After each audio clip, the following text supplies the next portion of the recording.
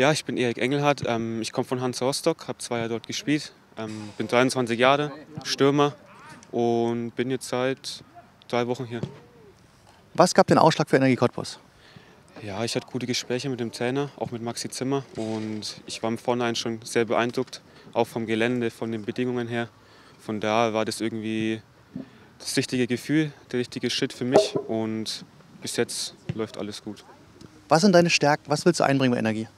Ja, das Physische, glaube ich, ist meine Stärke. Ähm, dass ich das Körperliche hier einbringe, dass ich ähm, die anderen push, dass ich einfach Gas gebe. Und ich denke, das macht auch den Verein aus, dass der ein bisschen so ein Verein für jeden ist, dass, er, dass wir zeigen, dass wir Gas geben für den Verein. Und ja, das sind so meine Eigenschaften. Mein linker Fuß noch, mit dem ich ein bisschen schießen kann, glaube ich. Und ja, das waren so die Stärken.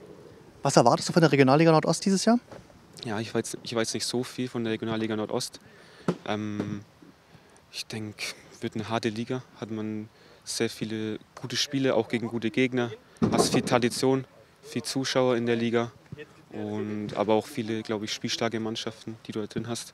Von daher wird es eine ausgeglichene Liga, denke ich. Ähm, wir müssen einfach immer Gas geben, von Spiel zu Spiel schauen und dann der Rest kommt von selber. Was sind deine persönlichen Ziele für die Saison?